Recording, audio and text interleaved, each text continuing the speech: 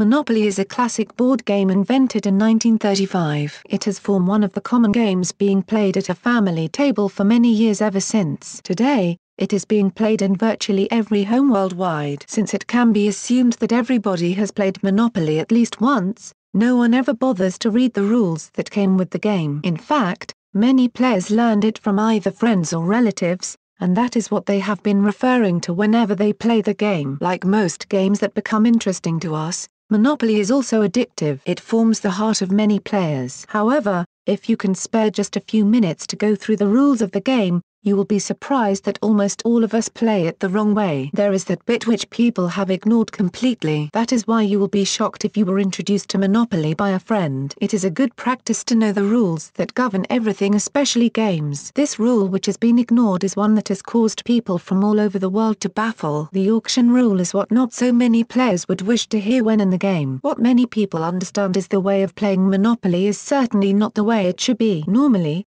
Monopoly involves rolling a dice by the first player and moves their pieces. When the dice stopped on a property, the person chooses whether to buy it or not. Then the second player is allowed to also roll the same dice. Unfortunately, this is the wrong way of playing Monopoly. From what we just told you, you realize that the auction rule has not come into play. When someone rolls a dice, and it landed on a property then the person chooses not to buy it it goes to auction for another player to buy it. It is in the rules. If you're thinking, what? You are not alone. Many people were surprised by this rule which seemed new and strange. They had not heard about it though it had been there from the time the game was created. It sounded strange to many since people just learned the game from friends who never revealed the rule to them. From the official Hasbro Monopoly rules, it is clear that there is a stage when an auction is done. The rules state buying property. Whenever you get to a property without ownership, you may or may not buy it from the bank at its tagged price. If you don't to buy the property,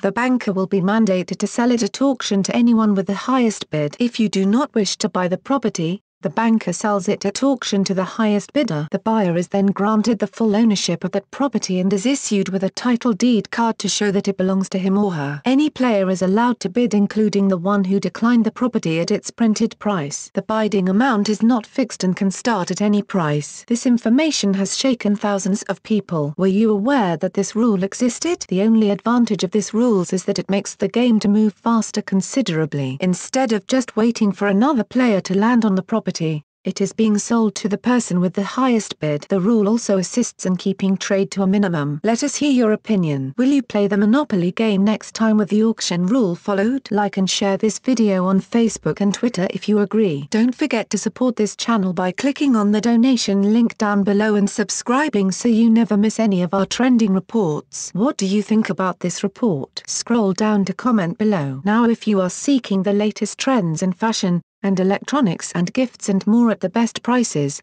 please feel free to visit www.atthismall.com once again that is www.atthismall.com.